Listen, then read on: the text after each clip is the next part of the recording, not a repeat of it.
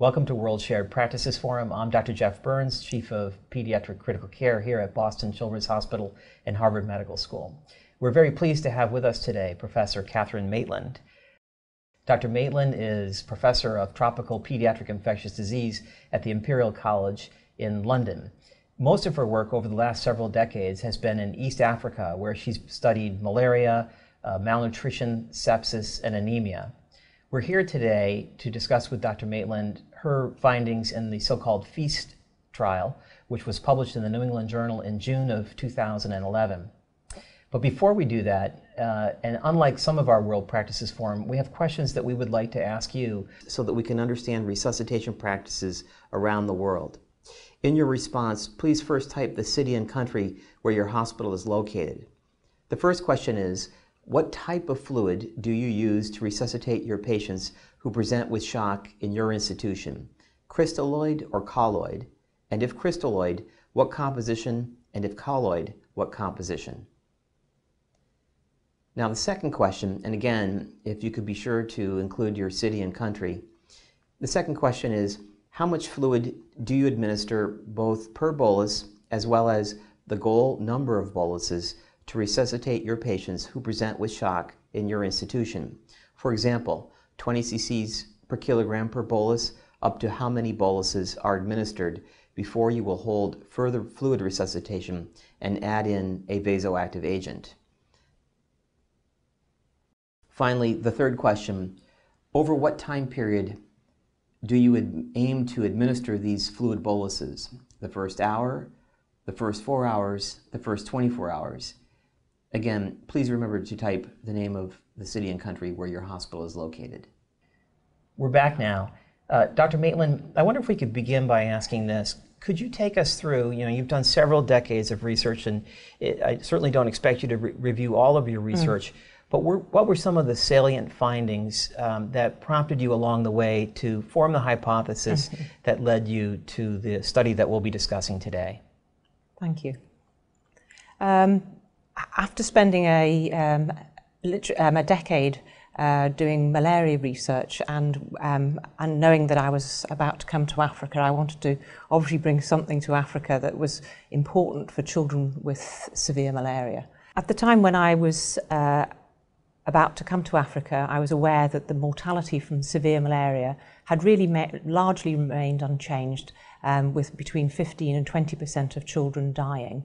Um, Malaria was being largely described as either cerebral malaria or severe malarial anemia. It had been recognised that children with malaria had acidosis, but really there hadn't been, although there'd been a, a few adjunctive therapies tried, there hadn't been any um, way in which it was being articulated as the critically ill child. Most children um, arrive as emergencies, and, and therefore I thought, well, from what we've learned in paediatric critical care, um, maybe taking a structured approach to their management might improve outcome. In terms of a hypothesis behind that, we were um, we understood that a large number of children had uh, severe acidosis, and in critically sick child, um, the most likely cause of um, severe malaria, uh, severe acidosis, um, is would be likely to be um, hypovolemia but we had no evidence to suggest that.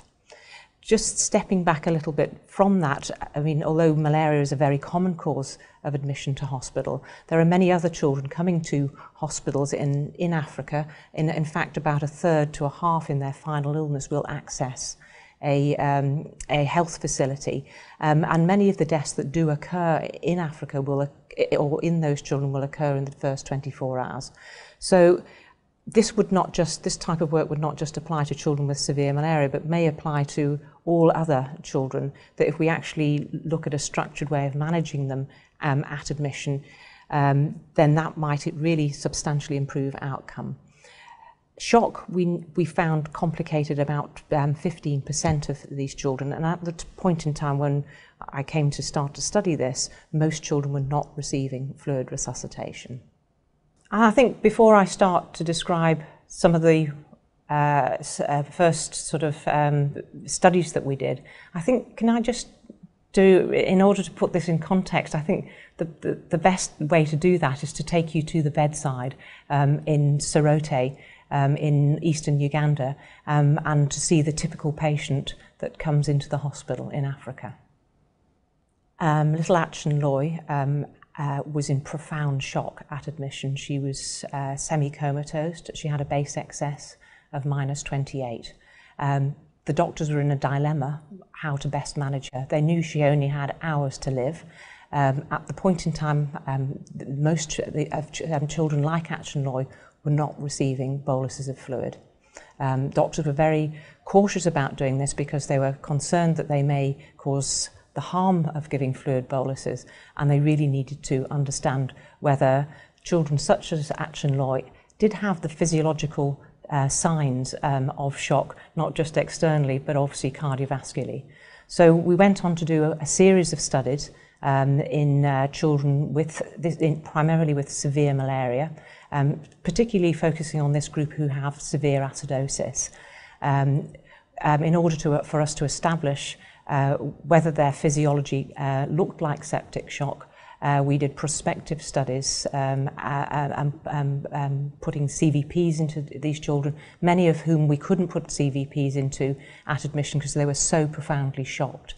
Um, um, we did find that the CVPs were low, on average between um, 0 and 2 um, at admission. And with boluses of either albumin or normal saline, we found that the CVPs um, within an hour or so would come up to um, between six and eight, so into a normal range. We, we couldn't, we didn't want to give too much more fluid because we had, we didn't have access to ventilation, but we found that that, that stabilized the, uh, at, at, at around there, and we saw tachycardia coming down, heart rates coming down, and children beginning to wake up. Um, so for that, that really reassured us that uh, the, that some of the pathophysiology of severe malaria, particularly those who are acidotic, looked very much like septic shock.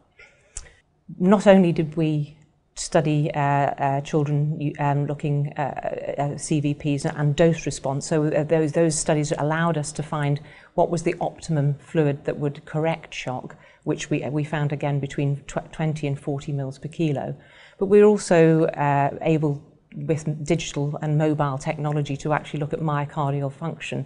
And again, we found that there was a mild depression of my myocardial function, particularly in children who were acidotic.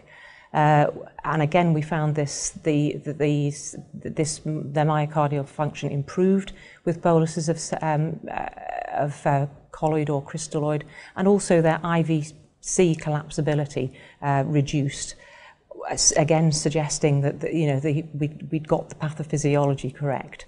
So these were the first studies that we did um, before we were able to do go on to do further clinical trials. So we then, in these, these well, early clinical trials, we were very much interested in the type of fluid that would be the best for the children we'd hypothesized that particularly for children with severe malaria, they often come in with impaired consciousness, they have cerebral malaria, and we were anxious that if we gave a lot of crystalloid, we may cause children with, particularly with cerebral malaria, to um, to give them um, the um, complications, to give them brain swelling. So we felt that it might be better to try and correct them with a colloid. And so um, we'd had a lot of experience with albumin in meningococcal disease. And so that was one of the first um, colloids that we started to study. So the first studies we were doing was looking at albumin versus saline, and then we went on to look at albumin versus Gelofusine and, and some of the other um, colloids. And we saw throughout those studies that each single time we studied albumin against any other solution, and remember these are all, all fairly small studies, but um, um, and, and done con conducted fairly carefully, that albumin always seemed to have a much, much better outcome, particularly in children who had impaired consciousness. So we were beginning to build up an evidence base to say, yes, the children have profound shock when they come in. We can safely correct it with fluid resuscitation. And the fluid that looked best in all of, the, um, in our, all of our small studies appeared to be albumin. This culminated in a, a meta-analysis that we did looking at all of the fluid resuscitation trials that had been done in children um, in malaria, dengue, and also uh, sepsis. There weren't many, but these um, for the conditions of um, sepsis and also malaria, that appeared that albumin, there was a weak evidence that albumin seemed to be the, the best resuscitation fluid in these. But all of these were very small trials, um, and none of them had been controlled trials. And I think that that's an important point. Uh, Professor Maitland, um, that's a very helpful overview to understand your work to date. And it raises the question uh, I wonder if I could turn to our colleagues around the world and could you tell us in what percentage of your patients in shock um, have you been placing a CVP monitor? Um, and if so, uh, what CVP do you target uh, in your fluid resuscitation?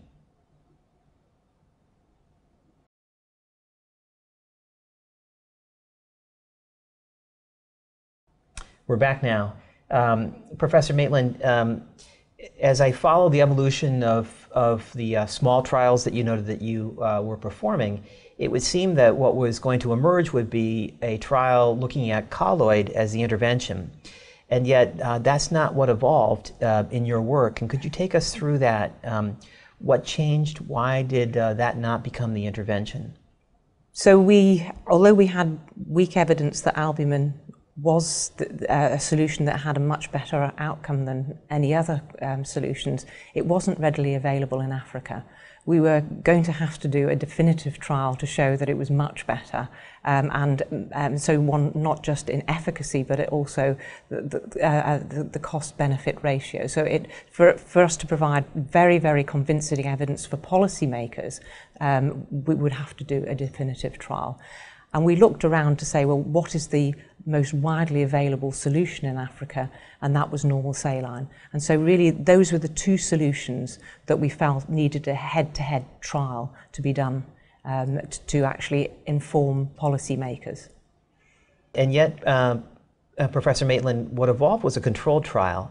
And um, could you take us through that? And I imagine uh, proposing a controlled trial in any environment, but uh, perhaps particularly in um, a resource limited environment, must have had many challenges, not just logistically, but more importantly, conceptually, and, and perhaps people saying ethically, could you do this? Mm. Could you take us through some of that?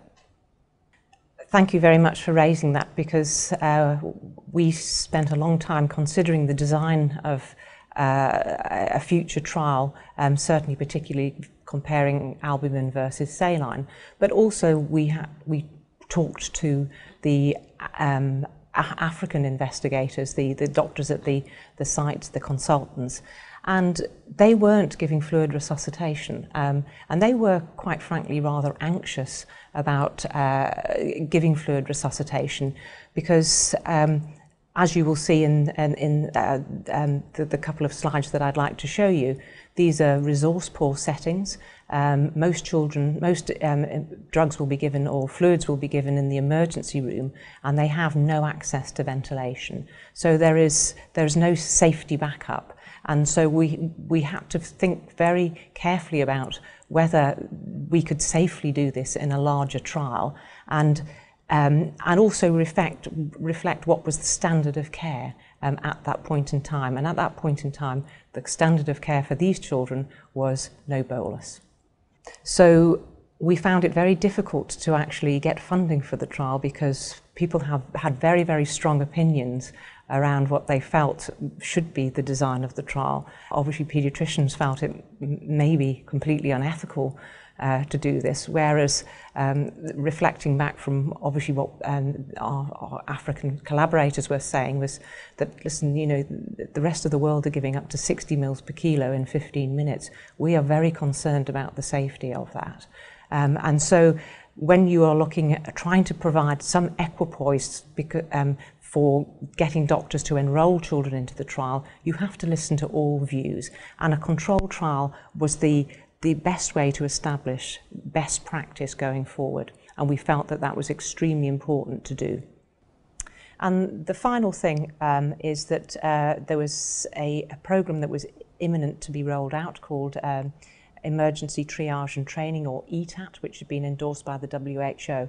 And this was about to be rolled out in Africa, which would um, very much mimic um, PALS or APLS, um, and would recommend fluid boluses, but actually the evidence supporting the um, benefit of fluid boluses was very poor. So we really did need to know um, before, we, before the, um, this program was rolled out. Uh, Professor Maitland, um, the details of your uh, FEAST trial are well described in the New England Journal article, and uh, I don't want you to have to go through all of that again. But um, could you describe for us what you think are the salient features of your trial design, and perhaps especially with an eye towards what some of the questions have been since the trial was published? Thank you, Jeff. Um, I think the most important thing is that at the point of admission, when doctors wanted to give fluid, we had a patient that was largely undifferentiated. So we tried to make sure that actually this trial was relevant to paediatric practice going forward, generalizability. Um, so we had very, very few exclusion criteria. So this, so the undifferentiated patient would include children with malaria, children with sepsis, they may be um, slightly anemic. The only groups that we did exclude were children with gastroenteritis, um, children with severe malnutrition, or surgical or tra trauma um, and burn. So they, they could easily be differentiated at the point of admission. But so the rest of the um, children who were in the trial were, were what would sort of largely be considered as having um, a, a, a, um, life-threatening febrile illness. Um, The interventions were given early, so we had um, three arms in the large control trial. We had um, an immediate bolus of albumin between 20 and 40 mils or immediate bolus of saline. um, and the uh, and the um, this was compared to a control arm.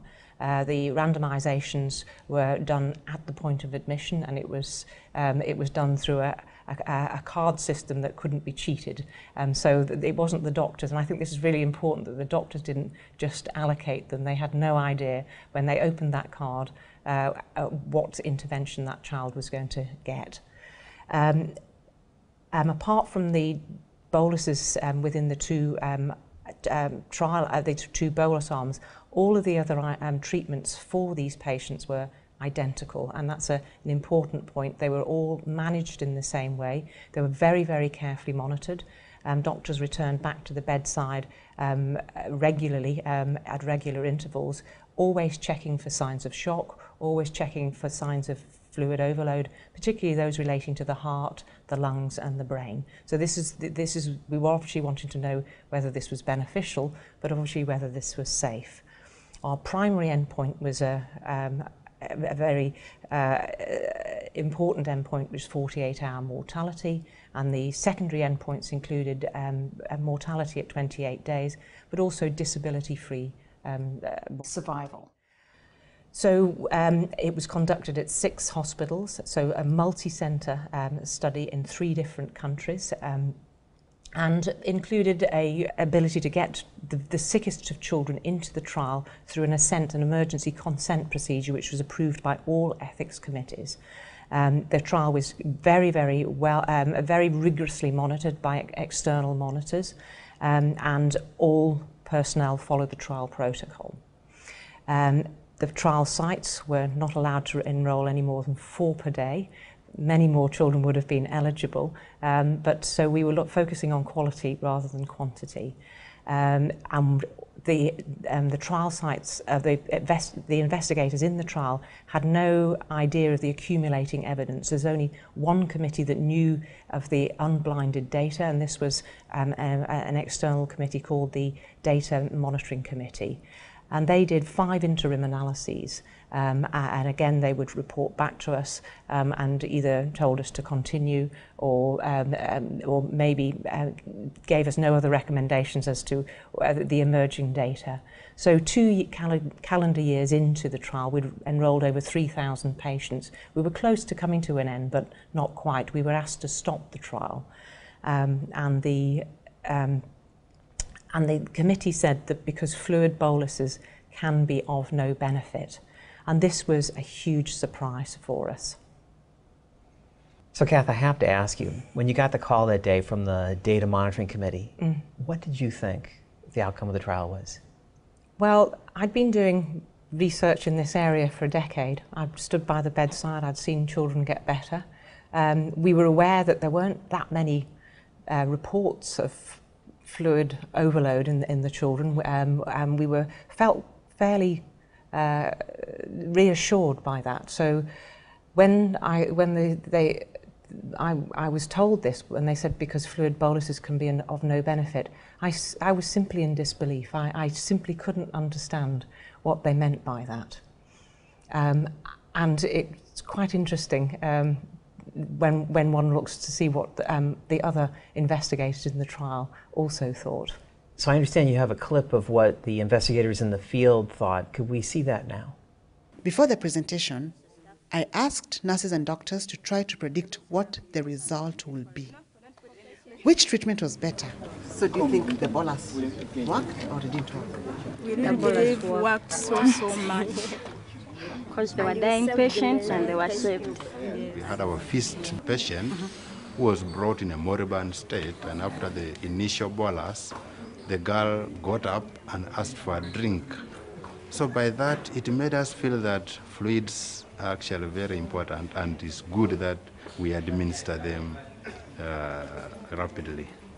Yeah, according to how I've been observing the, the children whom we've been treating, they've actually been coming up after giving the boluses. Yeah, going by what I've read and what I've experienced in treating some of the children that gave boluses, I think some of them benefited. Based on observations, kids who received boluses actually improved quickly. So I think uh, boluses really help in the immediate outcome. I wonder if I could ask our colleagues around the world, could you identify the city and country where you're located? And could you tell us, uh, did the results surprise you uh, that uh, fluid boluses led to increased mortality?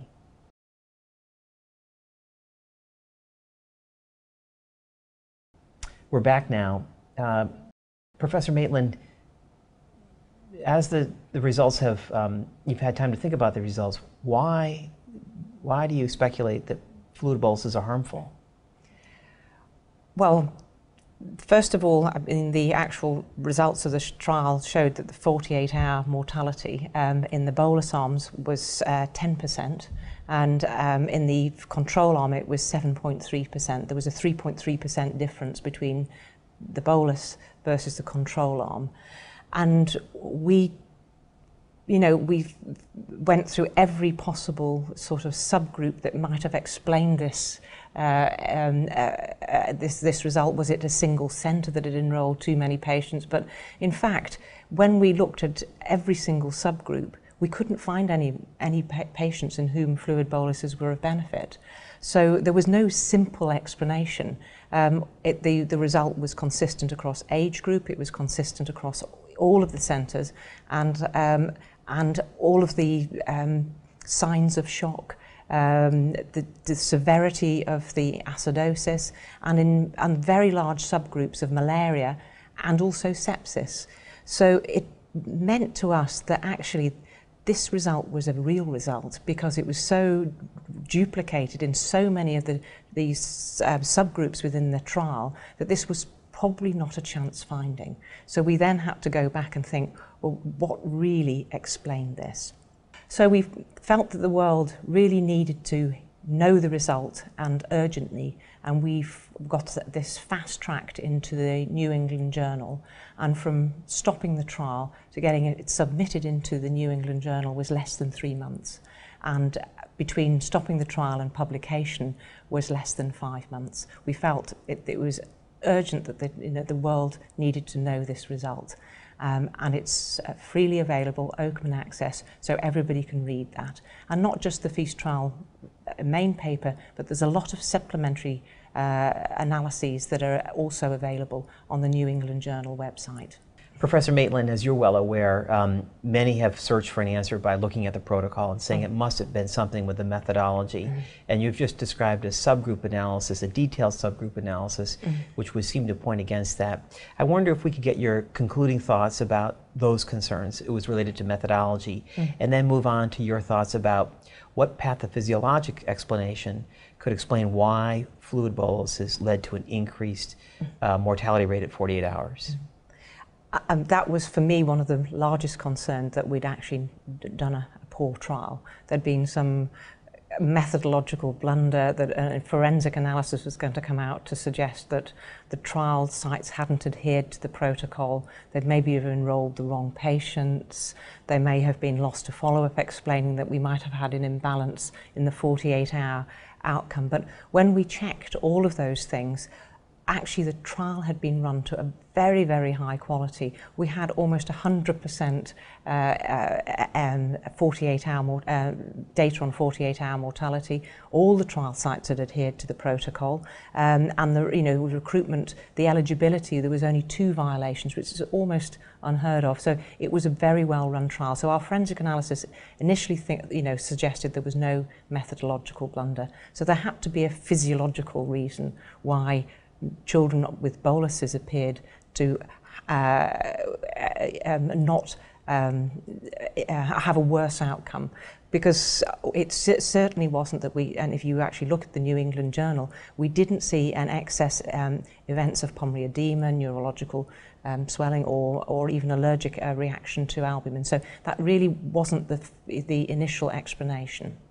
So the first paper was out and we were still analysing the data uh, uh because we, we really wanted to understand a lot more about perhaps what were the terminal events, um, what the type of children who were in the trial, but also the terminal events that just preceded uh, that, um, and may give us an information on the modes of death.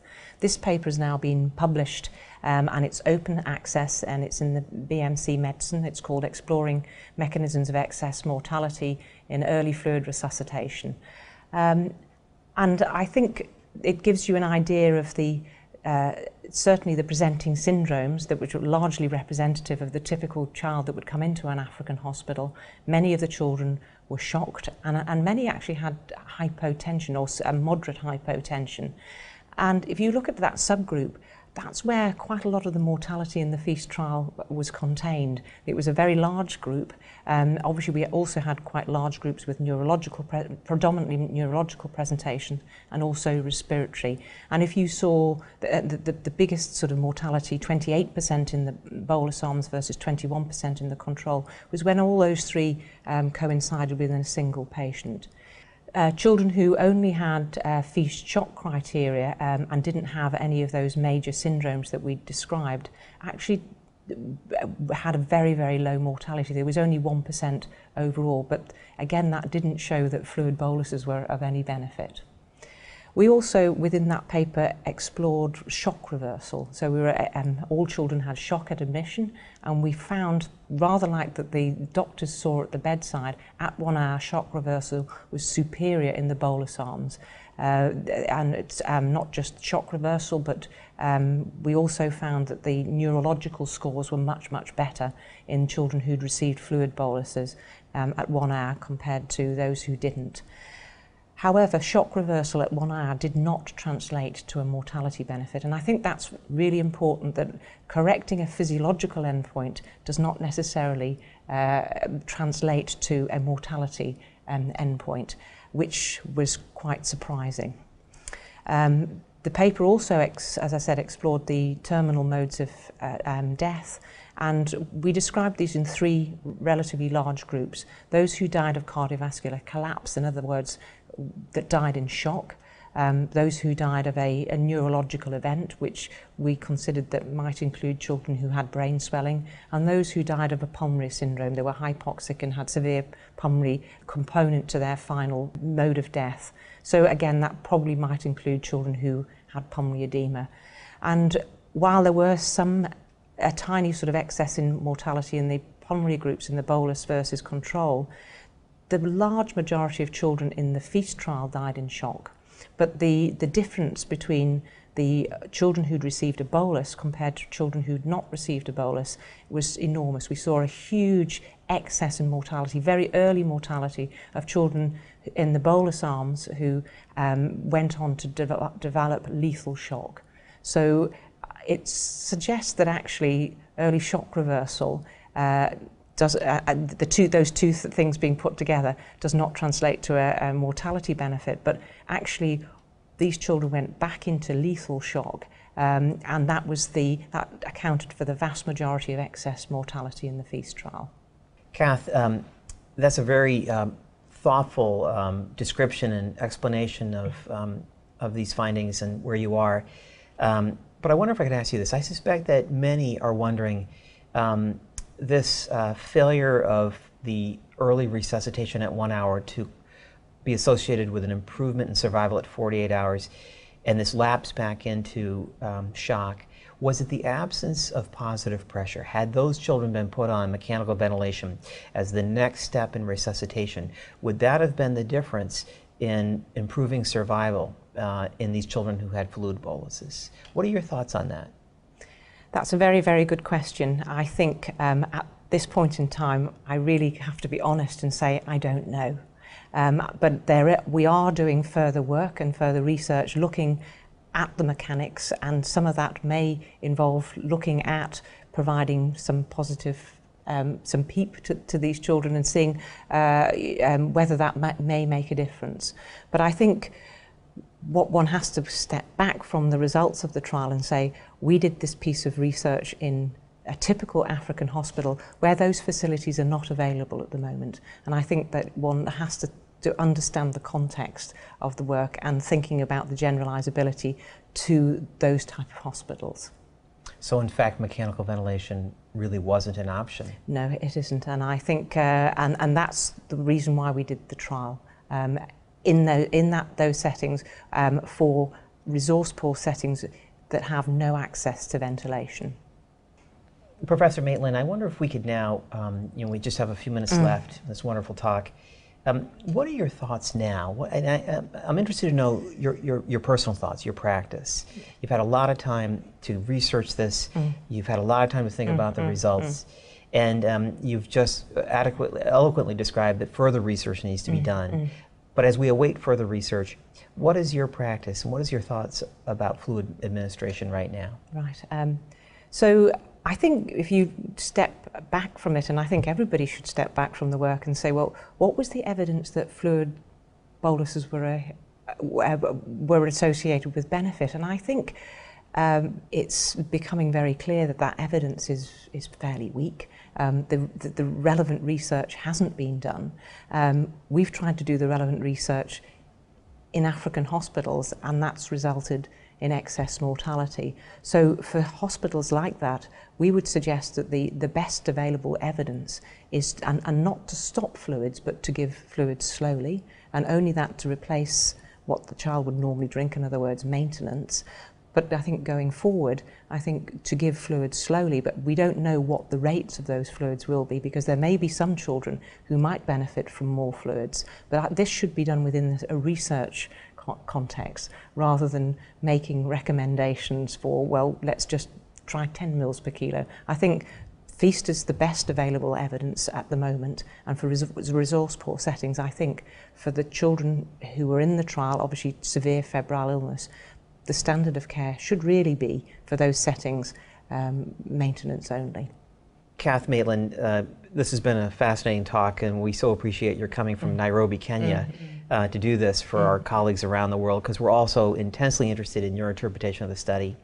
You gave grand rounds this morning, and uh, at that grand rounds, it was standing room only, and there was an editor in chief of a very prominent uh, medical journal. And he stood up at the end and he congratulated you. And he made the point that in critical care medicine over the last 15 years, so, so much of the conventional wisdom, and indeed some of the early trials that we thought were promising interventions, have since been refuted, and in particular, normalization of values. Uh, that normalization of values for mechanical ventilation, we know, has been harmful. Uh, it now appears that uh, normalization of glucose is harmful. Uh, now we're worried about sedation in the ICU. And he made the point that we should be open-minded enough to uh, look at your evidence, and question fluid boluses, rapid fluid administration, and be willing to study it as you've suggested. So I wonder now if I could turn to our colleagues around the world, and again, if you could tell us the city and country that you're in.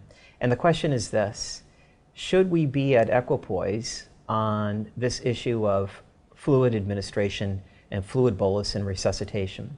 And in particular, would your center be willing to be part of a clinical trial that examined uh, an intervention that looked at fluid resuscitation versus uh, uh, perhaps maintenance fluids, as Dr. Maitland did in her study.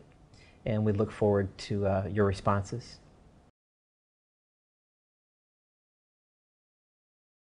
Kath, um, regardless of what people feel about the study, uh, I think I probably speak for all of us when I say you have our admiration for all the work that you've been doing in East Africa um, over the last decade or so, and we look forward to um, your future studies. Thank you very much. Thank you.